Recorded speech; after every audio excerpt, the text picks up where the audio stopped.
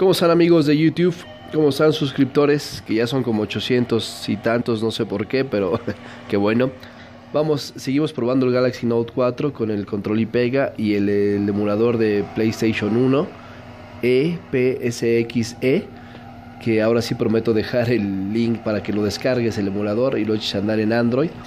Estoy jugando Gran Turismo 2, el disco de simulación, eh, recordando ese juego eh, tan exquisito que era ver hace 20 años esta simulación de esa simulación de conducción.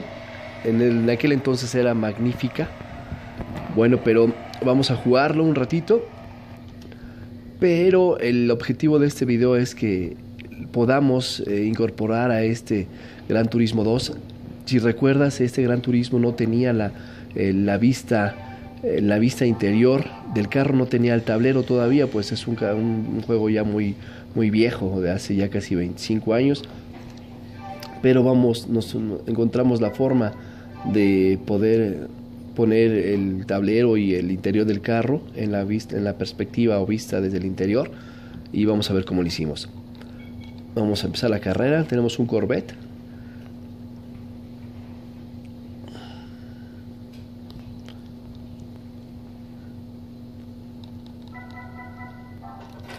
Jugamos con cambios manuales. Ahorita vamos a ver. Están con llantas de simulación, que es el máximo de simulación que te da este jueguito. Y creo que se puede disfrutar. Esta es la vista que te digo. Que, que es la que te da realmente el efecto de velocidad. Porque si pones otra se pierde mucho. Y ya se ve viejo el juego. Pero si pones esta. Pero nos falta el teclado, el tablero del carro, el volante, la perspectiva desde adentro para que sea bonito. ¿Cómo le hicimos? Bueno, imprimimos en Google la, vista interior de Gran Turismo 5, de un carro estándar, de un deportivo y otros más. Este es de un deportivo que se apega, bueno, es un Ferrari, pero se va a pegar a lo que es el Corvette. Le ponemos sobrepuesto el, la miquita que trae impreso eso, dejamos que se vean las velocidades y empezamos a jugar. Y como te das cuenta, nos da la, la sensación de estar viendo desde el interior del carro con, la, con el tablero y el volante. Y vamos a tratar de ganar esta carrera. Como estás concentrado en la carrera, en la pista, en los carros, en frenar, que no se te vaya el carro, pues dejas de ver la fotografía, la imagen impresa esa y, y pues realmente sí te da la ilusión de estar jugando con las vistas subjetivas que traen ahora estos juegos de carros.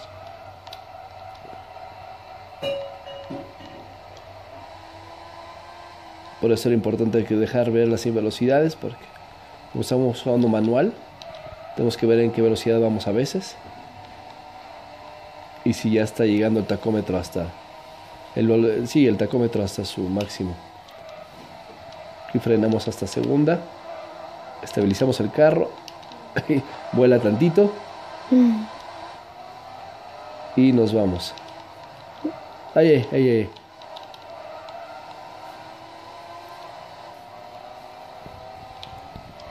Frenamos. Aquí tenemos que entrar en tercera, dice mal. La vuelta más difícil del juego. Aquí es importante no concederles lugar para que pasen porque se ponen roñosos los de atrás.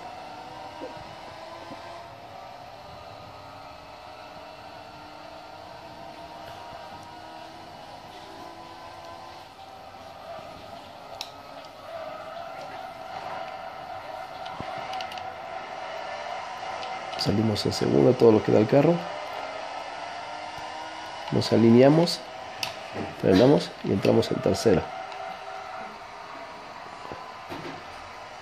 Si no has reconocido la pista pues es la de Laguna Seca.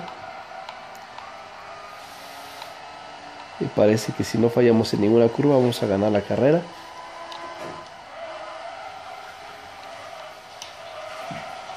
Ay ay se va el carro se va el carro Ahí vienen atrás todos. Este video se lo dedico a Heiki360, un chavo español que sube, es un, es un gamer, bueno, juega mucho FIFA yo lo conocí jugando FIFA, pero ahorita se enfoca más en juegos de carros. Y está jugando el iRacing, que es un super juegazo en PC. Lo mejor que hay en simulación de carros. Y pues un saludo a Heiki que sigue así subiendo juegos.